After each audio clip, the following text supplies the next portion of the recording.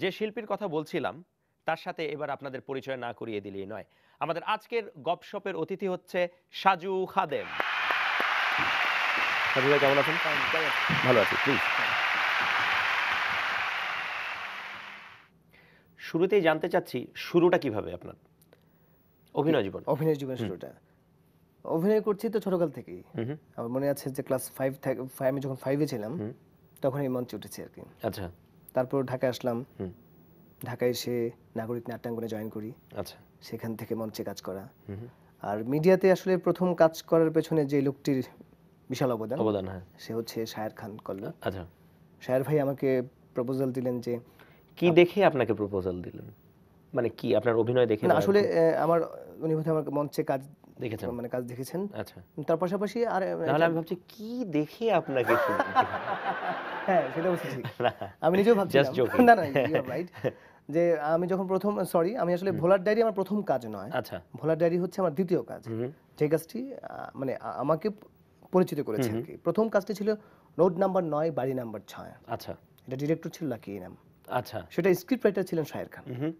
সেই নাটকে মানে ওই নাটকটি দেখার পরে শায়ের খান আমাকে বললেন যে সাজু ভাই কিছু একটা হতে পারে তোমাকে আপনাকে নিয়ে আমার একটা চিন্তা আছে। ওকে এবং এই চিন্তাটা বোধ হয় পার করে দিয়েছেন বছর খানেক আচ্ছা। আমি অবশ্য তখন অতটা গুরুত্ব দেইনি যে কি চিন্তা করতে পারে। আমাকে নিয়ে আমার চিন্তা। কিন্তু যাক শেষ পর্যন্ত উনি আমাকে একটা স্ক্রিপ্ট দিলেন। হ্যাঁ হ্যাঁ। দিয়ে বলেন যে স্ক্রিপ্টটা পড়েন। হুম।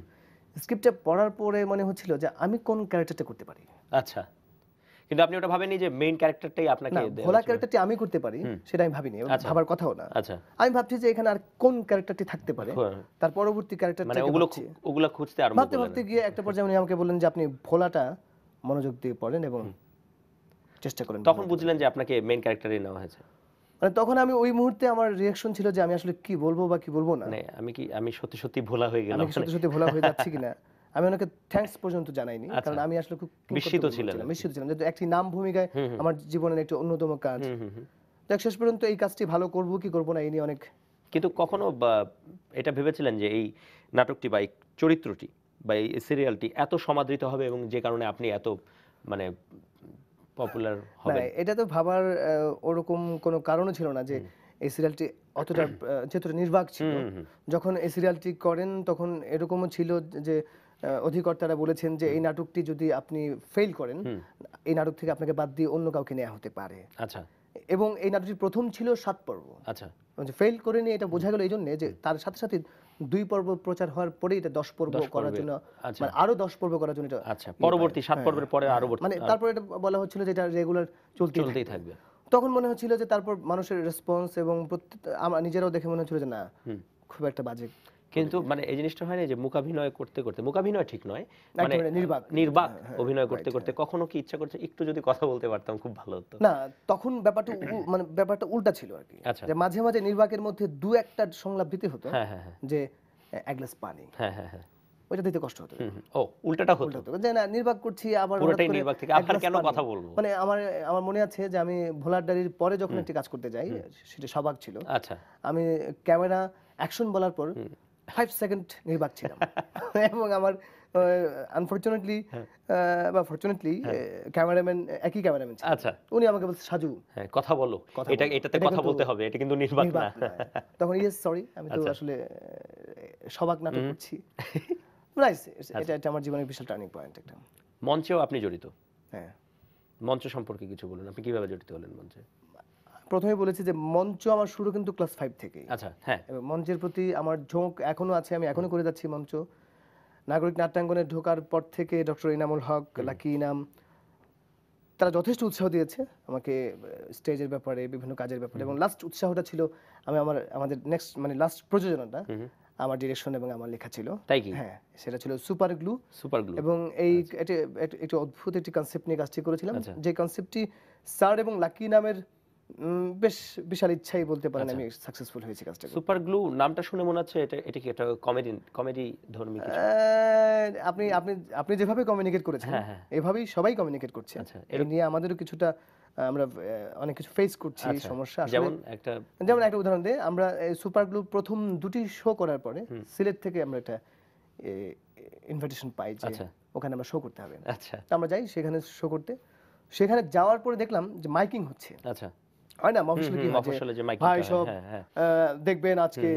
তো সেখানে- মাইকিং হচ্ছিল সেখানে? মাইকিং করছে যে ভাই সব ভাই সব আগামীকাল সন্ধ্যায় সিলেট উসমানী মিলনায়তনে দেখবেন দম ফাটানো হাসির নাটক সুপার গ্লু আচ্ছা আমি। এই হাসির নাটক না। মোটেও হাসি নাটক হ্যাঁ। হাসির নাটক তো নয় এটা একটা মেসেজ দেওয়া মেসেজ এবং এটা একটা সুরিয়ালিজম ধর্মের নাটক। তো যাই হোক আমি ধরে নিচ্ছি যে এটা এটা তো কোনোভাবে মানে ওরা ধরে নিয়েছে এটা দম ফাটানো হাসির নাটক। দম ফাটানো হাসির আচ্ছা, নাটক। তারপরে? আমি ভাবলাম যে না এটাকে তাকে একটু দেওয়া উচিত যেটা দম ফাটানো হাসির নাটক না এটা একটি খুবই নর্মাল একটি নাটক। হুম। আমি তাকে কি আমি বললাম যে ভাই আপনি যে মাইকিংটা করছেন ভুল। সেই মাইকিংটা ভুল এটা আসলে হাসির নাটক না এটা একটা নর্মাল নাটক। সে বলছে ও আচ্ছা সরি ভাই ভুল হয়ে গেছে। মানে সিরিয়াস হ্যাঁ, হ্যাঁ, হ্যাঁ। বলছে। সে আবার বলতেছে ভাই সব আগামীকাল সন্ধ্যায় দম ফাটানো ট্র্যাজেডি নাটক সুপার গ্লু দম ফাটানো ট্র্যাজেডি নাটক। আমি এটা অনেক বড় ট্র্যাজেডি ভাই। নিঃসন্দেহে এটা এটা নিঃসন্দেহে ট্র্যাজেডি যে আমি দেখলাম যে তার দম ফাটানো শব্দটি লাগাতে হবে। লাগাতে হবে। আমরা আবার করতেই হবে। কি বলল? দম ফাটানো ট্র্যাজেডি নাটক? মানে আমার এই মাইক নিয়ে মানে এরকম মাইকিং নিয়ে আমার জীবনে প্রচুর ঘটনা আছে। আচ্ছা। যে আমি একবার যাচ্ছি সেগুন বাগিচা দিয়ে। মাইকিং হচ্ছে। হয় না? সমাবেশের মাইকিং বা ওয়াজ মাহফিলের মাইকিং তো এক লোক বলছে ভাই সব আগামীকাল পল্টন ময়দানে বিশাল সমাবেশ। এই ডানে যান ডানে যান এই বামে যান বামে যান। কি ব্যাপার হঠাৎ বুঝতে পারলাম যে না সে রিক্সাওয়ালাকে ডানে যান বলতেছে। কিন্তু আচ্ছা। সেটাও সে মাইকিং দিয়েই বলছে। মানে সারপ্রাইজিং এই আচ্ছা চিত্রশিল্পী। হ্যাঁ। আপনি ফাইন আর্টস থেকে পড়াশোনা করেছেন। থেকে পেইন্টিং পেন্টিং এর উপরে। তো এটার ঝোঁকটা কি ছোটবেলা থেকে ছিল? মানে অভিনয়ের পাশাপাশি নাকি না? আমি ভীষণ লাকি আসলে। মানে আমার আমার যে ফ্যামিলিতে আমার জন্ম আমার বাবা মা they are very much cultural আমার বাবা টুকটাক ছবি আঁকতেন। আচ্ছা। আমার মা ভীষণ মানে কালচারাল ওরিয়েন্টেড একজন মহিলা। সে ভীষণ পছন্দ করে তার ছেলে গান গাবে আচ্ছা। তার ছেলে অভিনয় করবে তার ছেলে ছবি আঁকবে। তো এই উৎসাহে আমার বাবার কাছ থেকে আমি ছোটকালে ছবি আঁকা শিখেছি। আচ্ছা। প্রথমে আপেল আঁকা তারপর পেঁপে আঁকা। আচ্ছা। একটা পর্যায়ে দেখা গেলো যে আমি কপি করতে শুরু করি। আচ্ছা। মোনালি মোনালিসাকে আঁকতে শুরু করি। আচ্ছা। জনাল আবেদিনের দুর্ভিক্ষ ছবিকে আঁকতে শুরু করি। আচ্ছা তো ওই মুহূর্তে অবশ্য নিজেকে খুব বিশাল শিল্পী ভাবা শুরু করলাম। আমি তো ভালো আঁকতে পারি। হ্যাঁ হ্যাঁ হ্যাঁ। তারপর আমার বাবা আমার উৎসাহ দিলে যে না তোমাকে আসলে ফাইন আর্টসে পড়া উচিত। তারপর আমি ঢাকা ইউনিভার্সিটি ফাইন আর্টসে ভর্তি হই। ভর্তি হওয়ার পর বুঝলাম যে আমি আসলে অত বড় শিল্পী না। শিল্পী হওয়াটা শুরু করেছিলাম আচ্ছা। এখনও চলছে এখনও ছবি আঁকছি ছবি ছবি আঁকছেন। ছবি আঁকছি। আচ্ছা পাশাপাশি বিভিন্ন ডিজাইনেও আপনি বেশ হ্যাঁ যেহেতু আমার একাডেমিক্যাল ব্যাকগ্রাউন্ডটাকে আমি সার্ভে করে যাচ্ছি। আসলে শিল্পক্ষেত্রে ফাইন আর্টস একটা সাবজেক্ট এই বিষয়টি আমাকে সব জায়গায় হেল্প করছে। নাটকে করছে। সব জায়গাতেই সব কথা। শিল্প তো শিল্পের সংজ্ঞাটা তো একটা জায়গাতেই। রাইট তো আমি সে আবার একাডেমিক্যাল ব্যাকগ্রাউন্ডটাকে ইউজ করছি সে ডিজাইনে রাইট বিভিন্ন ডিজাইনে প্ল্যানিং এ আমাকে ভীষণ হেল্প করছে। আমি খুব লাকি মনে করি যে আমি এই সাবজেক্টটা থেকে পড়াশোনা করেছি বলে কিছু কিছু ক্ষেত্রে হয়তো আমাকে কমিউনিকেট করতে সুবিধা সুবিধা হয়। আচ্ছা একটা জিনিস দেখা যাচ্ছে যে আপনি যেরকম মঞ্চে কাজ করেছেন আপনি টেলিভিশনে কাজ করেছেন পাশাপাশি আপনি সিনেমাতেও আজকাল অভিনয় করছেন। আমি আমি একটু কথা বলে রাখা উচিত আমি ভীষণ লাকি হ্যাঁ। যে আমি বাংলাদেশের দুজন বিখ্যাত ডিরেক্টরের সাথে কাজ করি। এবং যেভাবেই হোক দুজন বিখ্যাত লোক দুজন বিখ্যাত ডিরেক্টর আবার বাপ ছেলে। দর্শক মন্ডলের মধ্যে বুঝে গেছে যে বাপ ছেলেটাকে। সে হচ্ছে একজন বাংলাদেশের বিখ্যাত ডিরেক্টর দিলীপ বিশ্বাস এবং আরেকজন হচ্ছে না। আমি বিখ্যাত তাকে এই মুহূর্তে আপনাদেরকে দেখাতে পারি দেবাশিস বিশ্বাস। কেমন অভিজ্ঞতা? মানে আমি তখন যে- যে- যে সময় আমরা শুটিং করছিলাম সে সময় আসলে ওটা বলার বা ওটা জিজ্ঞেস করার সুযোগ হয়নি হ্যাঁ। আজকে সুযোগ হয়েছে যে আসলে টেলিভিশন থেকে ইটস আ বিগ ট্রান্সফরমেশন আপনি বিগ স্ক্রিনে এসেছেন নিজেকে দেখছেন বড় পর্দায়। সেই অনুভূতিটা কি বা দর্শকদের রিয়াকশনসগুলো কি বা সাম্প্রতিক কোনো ঘটনা এরকম ঘটেছে কিনা যে দর্শক আপনাকে হ্যাঁ, বলছে হ্যাঁ, কিছু? মানে প্রথমেই বলি যে আমি কিন্তু প্রিপেয়ার ছিলাম না যে একটা ফিল্ম করতে পারি। আচ্ছা। এবং যখন প্রথম অফারটি বোধহয় আপনার কাছ থেকে পাই আমি কিন্তু এক্সাইটেড ছিলাম যে আমি কি পারব কিনা? আমি বোধহয় আপনাকে বলেছি যে আমি পারব। হ্যাঁ হ্যাঁ। আপনি কিন্তু উৎসাহ দিয়েছেন যে না সাজু ভাই পারবেন হুম হুম তো আমি কতটুকু পেরেছি আমি জানি না। করেছি। কিন্তু সবচেয়ে সারপ্রাইজিং এবং সবচেয়ে ইন্টারেস্টিং ব্যাপারটি বা আমার কাছে সবচেয়ে খুব ভালো একটি কমেন্টস পেয়েছিলাম। আমাকে আমি যখন প্রথম দিলীপ আঙ্কেলের ছবিতে কাজ করতে যাই। আমার ফরিদি ভাইয়ের দেখা। আচ্ছা ফরিদ ভাই তো ছিলেন এখানে? ফরিদ ভাই আমাকে বলল তুমি এই ছবিতে কাজ করছ নাকি? বললাম জি করতেছি। তুমি তো খুব ভাগ্যবান ছেলে। তুমি জীবনে প্রথম কাজ করতেছো সেটা হচ্ছে দিলীপ বিশ্বাসের ছবি। আমার এই কমেন্টসটা মানে খুব অসাধারণ লাগল যে যে আমরা এত বছর পর দিলীপ বিশ্বাসের ছবি করতেছি আর তুমি জীবনে এসেই দিলীপ বিশ্বাসের ছবি করছ। তুমি তো মানে ফরিদ ভাইয়ের মতো বললাম আর কি তুমি তো বিশাল ভাগ্যবান ছেলে। তো আমি আসলে নিজেকে ভাগ্যবান মনে করছি এবং খুব কিছুদিন আগে আমি সিএনজি খুঁজছি আপনারা জানেন যে ঢাকা শহরে সিএনজি খুঁজে পাওয়াটা কি টাফ? খুব ভাই যাবেন নাকি? হ্যাঁ। শর্ট ডিস্টেন্সে যাবে না। আবার শর্ট ডিস্টেন্সে রিক্সা চলে না। তো সিএনজি ড্রাইভার যাচ্ছে না কেউ যাচ্ছে না। একজন বলল যে ভাই যাব। ভাই উঠেন। তাই উঠলাম। তা সভাপতি আমাকে মানুষ কমিউনিকেট করে ভোলা হিসাবে কিংবা এখন আইবা বলে হ্যাঁ, হিসাবে। রাইট তো উনি আমাকে বলছেন ভাইজান ভালোই তো করলেন। আমি কি? দেখলাম মায়ের মর্যাদা। যা করলেন। আমি আমার এই কমেন্টসটা খুব টাচ করল। বাহ!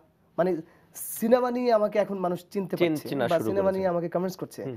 এটা আমার কাছে একটা অন্যরকম মনে হলো ভালো লেগেছে। তা আমি এই সিনেমা মুক্তি পাওয়ার পরে আমি মফস্বল বা গ্রামের দিকে এখনও যাইনি। হয়তো সেখানে গেলে আরও বেশি রেসপন্স হয়তো তো আপনার এই টেলিভিশনের এবং সিনেমাতে আপনার অভিনয় কিছু অংশ আমরা এখন একটু টিভি স্ক্রিনে দেখি। আচ্ছা।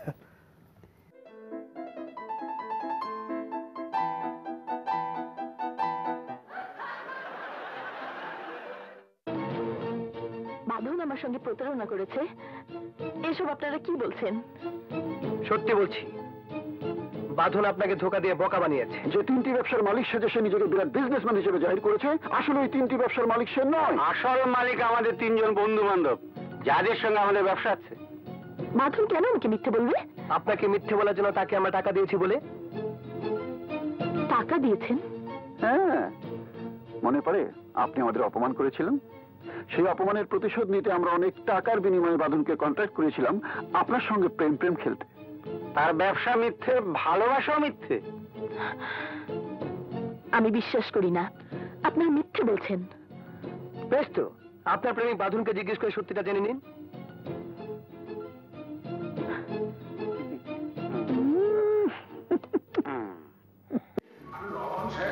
একবার টেনশনটা কি আমাকে বলুন না ম্যানেজার বলবে।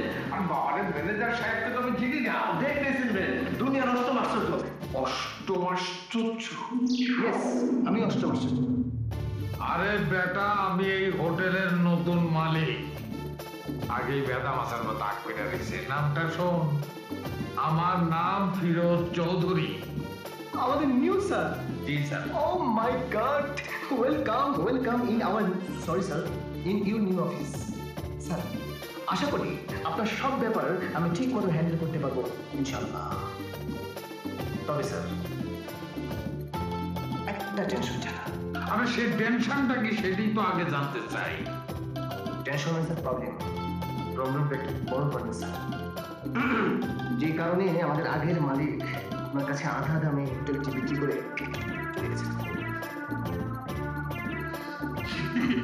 এইসব কি বলো? জি স্যার। একটু দিকে আসুন স্যার দেখে এদিকে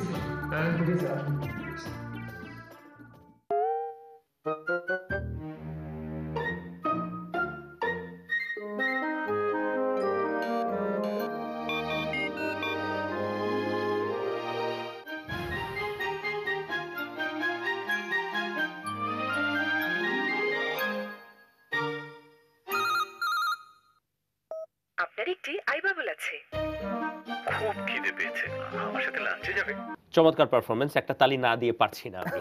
আমিও দিব নাকি? এখন যে জিনিসটা হচ্ছে যে একটা জিনিস শুটিং এর সময় আমি দেখেছি মানে মানুষের বিভিন্ন রকম কেপেবিলিটি থাকে অনেক রকমের ক্ষমতা থাকে। আপনার একটি ক্ষমতা আছে সেই ক্ষমতাটা হচ্ছে যে আমার শুটিং এর সময় বিশেষ করে আমি দেখেছি টকজল মিষ্টি ছবির সময় যে দুই একজন নির্দিষ্ট কিছু মানুষকে ইমিটেট করার একটা ক্ষমতা আপনার মধ্যে প্রবল আছে যেটা অনেকের মধ্যেই নেই। এই জিনিসটা দর্শকরাও কিন্তু অনেকে জানেন না যে একজন ভালো অভিনেতা সাজু খাদেম কিন্তু একজন ভালো ইমিটেটেড এইটা কি আপনি খুব অবজার্ভ করেন মানুষকে মানুষের অভিনয় বলেন বা জিনিসটা বলেন? আসলে ব্যাপারটা হচ্ছে কি মানে মানুষের কিছু নিজস্ব কিছু স্টাইল থাকে না আমার স্টাইলটাই বোধ হচ্ছে যে মানুষকে দেখলে একটু তাকে ইমিটেট করা বা আচ্ছা। তাকে অবজার্ভ করা। অবজার্ভ করা তো এই মুহূর্তে যদি মানে যেটা যেটা হয় যে আমি হ্যাঁ। ছোটকাল থেকে সেটা করে আসছি এখনও করছি তবে এটা কিন্তু একটা পারফর্মারের মূল গুণ না না ডেফিনেটলি না। কিন্তু আমি বললাম যে এটা কিন্তু একটা অনেক বড় গুণ যে তাকে ওই ওই জিনিসটা যদি ওই ক্যারেক্টারটা লিফট করা যায় বা হ্যাঁ। ওই ক্যারেক্টারটাকে দেখে যদি কিছু শেখা যায় বা ওই ক্যারেক্টারের ভিতরে হ্যাঁ। ঢোকা যায়। তো এখন যদি আপনাকে বলা হয় যে বিখ্যাত অভিনেতা হুমায়ুন ফরিদির যে কোনো একটি ডায়লগে দেখিয়েছি। একটু আগে দেখিয়েছি। আরেকটু যদি আমরা শুনতে পেতাম। ব্যাপারটা হচ্ছে যে যে কাজগুলো আমরা আমরা করি হ্যাঁ। সেই কাজগুলো সবাইকে দেখাচ্ছে এবং ফরিদি ভাই নিজেও যদি দেখে ব্যাপারটা আসলে ফরিদি ভাই খুশি হবেন আমি যতটুকু জানি। আসলে সত্যি কথা বলতে কি আমি ফরিদি ভাইয়ের প্রচণ্ড ফ্যান তো। ডেফিনেটলি আমি আমি- অনেক অনেক বড় ভক্ত ওনার। আমি ছোটকালে আমি আমার নাটক ক্লাস ফাইভ ফাইভে যখন পড়ি তখন আমি ফরিদি ভাইকে নকল করেই কিন্তু নাটক শুরু। আচ্ছা তাই কি? আমার- আমার মনে আছে ওনার একটা ছবি ছিল ছবির নাম ছিল দিন মজুর। আচ্ছা। আমি এটা ফরিদি ভাইকে দেখিয়েছি। আচ্ছা আচ্ছা। ফরিদি ভাই নিজেও ভুলে গিয়েছিলেন আচ্ছা। সেই নাটকের সংলাপ আহা। সিনেমার সংলাপ। রাইট তা আমি সেই সিনেমার ওনার সংলাপগুলো ওনাকে দেখিয়েছিলাম। তা আম- আমাদেরকে একটু দেখাবেন কি? ফরিদি ভাইকে যদি দেখিয়ে থাকেন ফরিদি আঙ্কেলকে যদি দেখিয়ে থাকেন আমাদের দর্শকরা বসে আছে উৎসুক না বলি ঘটনাটা একটু বলতে হবে। সেটা হচ্ছে যে ফরিদি ভাই ওই ছবির ভিলেন ছিলেন। আচ্ছা। সে ভিলেনের যে ইয়ে থাকে হ্যাঁ, হ্যাঁ। যারা চামচা থাকে তাকে অর্ডার করেছিল মানিক নামে একটি লোককে খুন করার জন্য। আচ্ছা। তাকে খুন করতে পারেনি। আচ্ছা। না পেরে সে পুলিশের হাতে ধরা পড়ে। হ্যাঁ। তখন সে ফিরে আসার পরে তাকে পুলিশের হাত থেকে বাঁচিয়ে নিয়ে এসে ফরিদি জিজ্ঞেস করে। সেটা আমি একটু দেখাচ্ছি হ্যাঁ. মতো। মানিককে খুন করতে তোমার কে বলেছিল?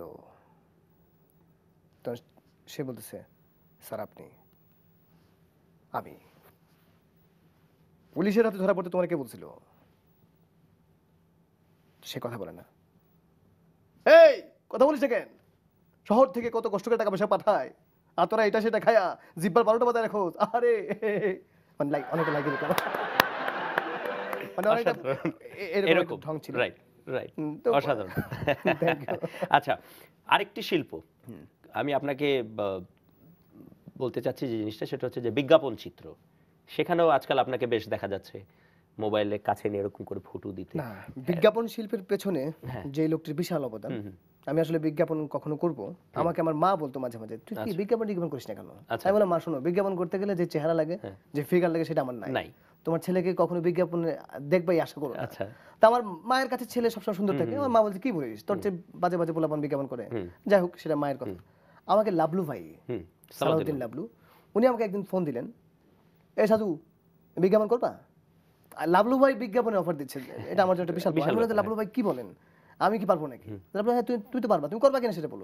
লাভলু ভাই আপনি বললে আমি করব না কেন? এবং এই যে লাভলু ভাই ঢুকালো এখন পর্যন্ত আমি তিনটি বিজ্ঞাপন করেছি সালাউদ্দিন লাভলু আচ্ছা এবং মজার ব্যাপার হচ্ছে যে আহ, প্রতিটি বিজ্ঞাপনই কিন্তু কম বেশি বেশ সমাদৃত হয়েছে। বেশ মানে ভালোভাবে নিয়েছে মানুষ। তো এই ব্যাপারটা কীরকম লাগে যে যখন যেটা আপনি কখনো কল্পনাই করেননি যে বিজ্ঞাপন চিত্রেও আপনাকে দেখা যাবে যেটা আপনি একটু আগে বললেন যে বিজ্ঞাপন চিত্রে আমার কোনো হপি ছিল না বা আমি ভাবিনি। এখন মানুষ অ্যাপ্রিসিয়েট করছে কীরকম লাগে? মানে আমার কাছে আসলে যেটা মনে হচ্ছে যে বিজ্ঞাপন করতে গিয়ে যেটা মনে হলো যে বিজ্ঞাপন আসলে আলাদা কোনো একটি জায়গা নয়। জায়গা নয়। যে একজন পারফর্মারের কাছে তার কাছে অভিনয় যেরকম সংগীত কলা যেরকম নৃত্য কলা যেরকম সেখানে বিজ্ঞাপন চিত্রকলাটাও আমার কাছে এরকমই মনে হয়েছে। যে যদি আমি পারি তা যেহেতু অভিনয় করছি আমি যদি এখন আমাকে গান গেতে বলা হতো কিংবা নাচতে বলা হতো সেটা যদি আমার পূর্ব অভিজ্ঞতা না থাকতো সেই ক্ষেত্রে তো গান যে কি হতো কাটনোস যাই হোক কিন্তু যেহেতু অভিনয় করছি এবং আমার বিজ্ঞাপনগুলোও ছিল কিন্তু অভিনয় রিলেটেড যে এখানে কোনোভাবেই বলা হচ্ছে না যে সুন্দর ত্বকের জন্য চাই। হ্যাঁ সুন্দর রূপের জন্য চাই। এরকম কিছু ছিল না। প্রপোর্শনের ছিল। মানে অভিনয়টা মুখ্য ছিল হ্যাঁ, অভিনয়টা মুখ্য ছিল এবং আমার প্রপোর্শনে যা। এই প্রপোর্শনে এই ছেলেটিকে যায়। সেই জন্য এখানে আমি আমি কেমন বা আমি কেমন নয় বা আমি কি বা আমি কি নয় সেটা আসলে মুখ্য হয়ে উঠেছে। যুগে যুগেই প্রপোর্শনের ক্যারেক্টারে কাজ করাটা বোধ হয় একটা আর্টিস্টের জন্য খুব এটা বিশাল বিশাল- বিশাল। হ্যাঁ। আজকে সাজু খাদেম রাস্তায় বের হলে মানুষ দশজন হলেও চিনছে তাকে। একটা সময় যদি এরকম আসে যে সাজু খাদেম রাস্তায় বেরিয়েছে কেউ তাকে চিনছে না তখন সাজু খাদেম কি করবে? তখন কি করব? আসলে সময় সবকিছুই হয়তো বলে দিবে যে তোমার কি করা উচিত বা কি করা উচিত নয়। আমাকে যখন কেউ চিনবে না তখন বুঝিয়ে নিতে হবে যে আমার অধপতন কিংবা আমার অবনতি কোথায় নিয়ে ঠেকেছে সেটা তো আমার নিজেকে নিজেকে দায়ী মনে করতে পারি। একজন সাজু খাদেম শুধু দশ বছরই নয় বছরের পর বছর আমাদের অর্থাৎ দর্শকদের মোহিত করে রাখুক তার অভিনয়ের মাধ্যমে। এই শুভকামনা আমাদের সবার পক্ষ থেকে আপনার প্রতি। থ্যাংক ইউ সাজু ভাই। থ্যাংক ইউ ভেরি মাচ আমিও সবার কাছে দোয়া চাচ্ছি। আমি যেন সবসময় আপনাদের মাঝে থাকতে পারি এবং কাজ করতে পারি। দোয়া রাখবেন। Thank you Thank you, Saju ভাই। থ্যাংক ইউ ভেরি মাচ এই ছিল আপনাদের প্রিয় অভিনেতা সাজু খাদেম, যার সাথে আমরা করলাম গপশপ। আগামী পর্বে আরেকজন অতিথি নিয়ে আসব আমাদের এই গপশপে। সে পর্যন্ত সবাই ভালো থাকুন, সুস্থ থাকুন। আদিওস।